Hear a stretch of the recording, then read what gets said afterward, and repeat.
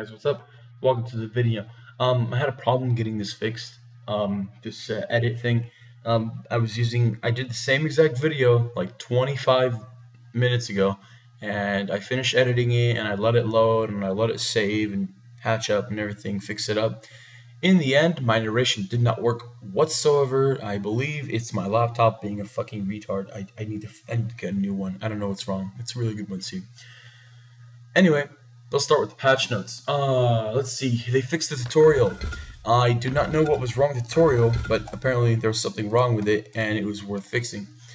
Um, they have two avatars called the Hang Tuah and the Scarecrow Fade. Fade's obviously the Fade avatar, and Hang Tuah is going to be a Gold Edition Sandwraith avatar.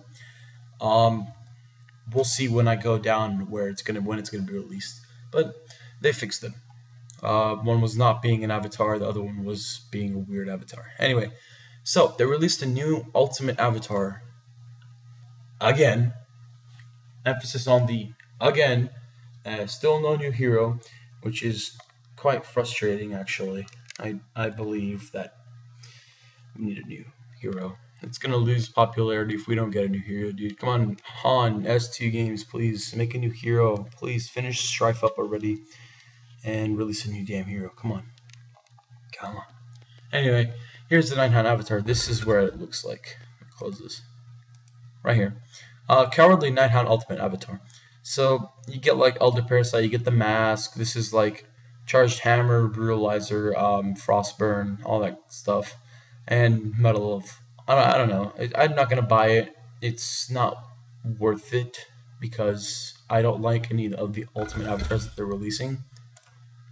Yes, okay. So here's all the items if you want to scroll through it, if you want to pause and read it or something. Alright, here we go. Deadwood, Hammerstorm, Pearl, Sandwraith, and Fade avatars. All of these represent the uh, Wizard of Oz series. You, you know that movie, right, guys? I, I, think you know that. I think it's a pretty popular movie. Everyone should know it. Um, yeah, so all of these represent one of the characters. So Good Witch Pearl would be um, I think her name is Dorothy. And Scarecrow Fit is the Scarecrow. This is Tin Hammerstorm, so obviously it's a tin. I think Deadwood would be the lion. Because in, look what it looks like. He's the only one that's been released so far. I'll show you what it looks like. This right here. Um, yeah. Okay, so that's what he looks like. So I would suggest he is the lion, maybe? I don't know. I'm just thinking that. Anyway, so each one of those is going to be released on a different day. Now, this is what fucked up HoN, in my opinion. The courier rework. Now, in the bottom corner, you guys have, like everyone has um, commands. There's an attack, stop, hold, move, um, fortification, and taunt. I think those are all six. Um, they removed those. They only have four now. Taunt Fortification, Use Courier button, and Courier Status. Let me read this to you. When you use the Use Courier button, the courier will grab all of the items in your stash, use Speed Burst, deliver the items to you, and return to base. That's literally what it does. The Courier Status now shows stats at a glance about the courier. The icon will change depending on what the courier is doing. Changes between idle, getting stash items, delivering, returning, dead, or roaming when someone is manually controlling it. Upper icon changes color based. Upper icon changes color based on who's controlling the courier. Oh, okay, my bad. And lower icon changes based on if the courier is private, shared, or dead. This information will also appear when your stash is open.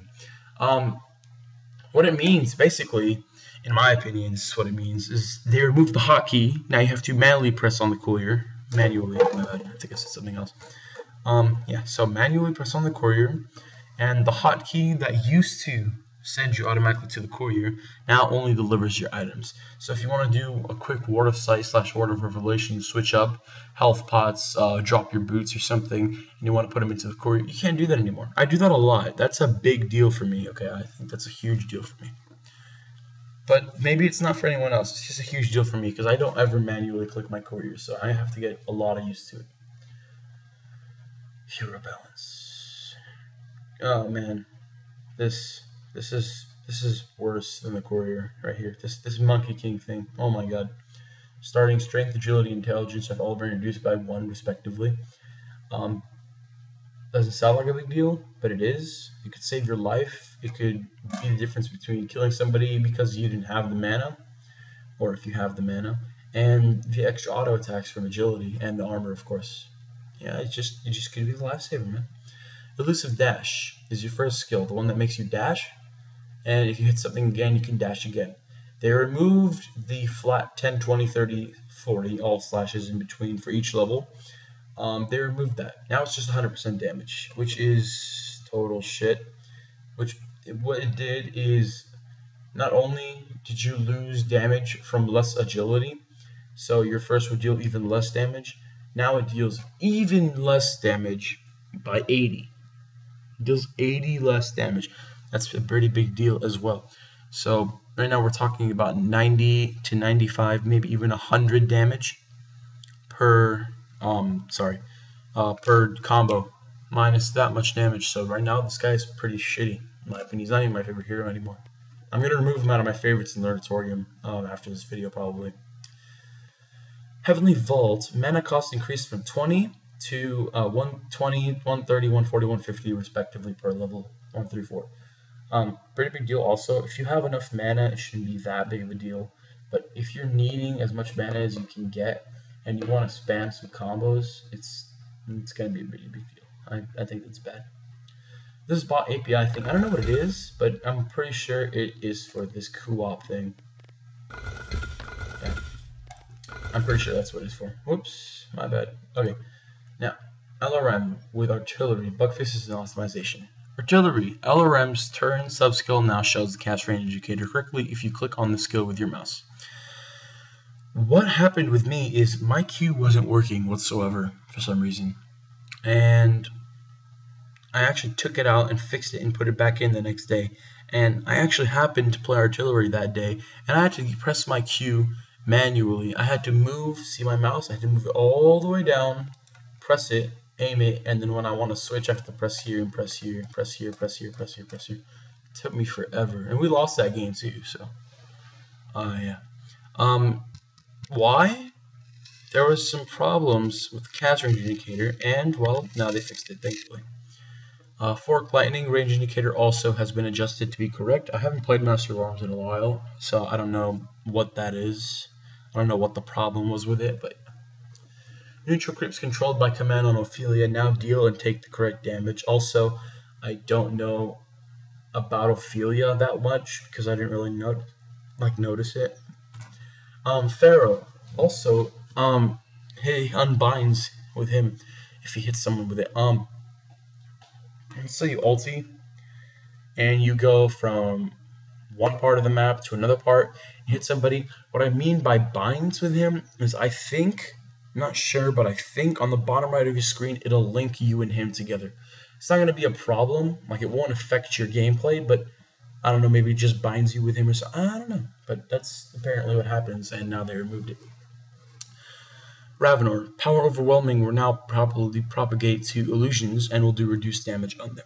See, I have no idea what that means, but um, apparently it's been a problem with illusions. They deal max damage or something. I guess he gets more charges or something and now they fixed it.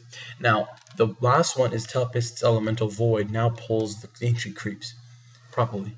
Um, I actually did ulti because I did do a three pull stack, so there was nine um, Ancient Creeps in one place. I ultied and I let my carry get all of them, but for some reason it didn't pull them toward the middle, so it was harder for him to land his like damage on them like all at once because he was artillery and he tried using his first on them, but they weren't all together because they're supposed to be pulled, but they weren't. So he only ended up killing like half of them, and then he had to run away and do the other half again. So thankfully now he do they do pull him now. Uh, let's see. Last parts. Fix the ranked slash unranked setting in matchmaking, changing itself to unranked on startup instead of restoring your last setting. What that means is this.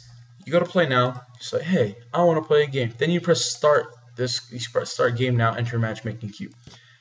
It'll be on unranked, which is where it always starts. Thankfully now, where you left it off from last time was on ranked. They put that, and that's where it's going to be as long as you keep it that way. You know what I mean? Okay, and then fix some options not working correctly when changed via search. For example, swap minimap. So when you're searching and you try to fix something, apparently it did not work. I've never had a problem with searching for anything in the first place, so that's thankfully for me. But for all of you guys, uh, that's good for you. Um, I don't know what to say about this patch. I I honestly despise this patch, but that's just one opinion, one man's opinion, because well, Courier rework, in my opinion, I don't enjoy it, and I played a couple games on it, and I don't think it's good.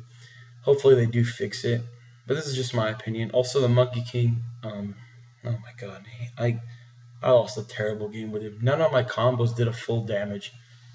Oh my god, it was horrible. Like um, let's see. In the last video of Monkey King I had, you notice that I got a bloodlust on him on the opponent because I used my dash and then I dashed again per auto attack. So I mean I dealt about 200 damage with uh, two of my firsts and two auto attacks, maybe three, and sometimes actually four. Um, well now they just a hundred and a little bit damage, like 130, 150 maybe. It's just so much less. I hate it so much. I just hate it. And the 150 is gonna get used to if I ever play Monkey King again. I highly doubt I'll ever try to play him again. I fucking hate the hero now. Uh, but again, that's just my opinion. Also, Clan Dammy's so racist. If you guys want to join it, just say on the channel, tell me when you're gonna be on. I'll get on and I'll invite you. Or you can, um, sorry, I can be on. You guys can join this. You don't even have to be in the clan to join this channel. You guys do whatever you want. In fact, I'm going to change the topic to welcome. Keep it real. Okay. That's it. I'm just going to leave it like that. I don't even know. Alright, well, thanks for watching, and I'll see you guys next time. Enjoy the uh, patch if you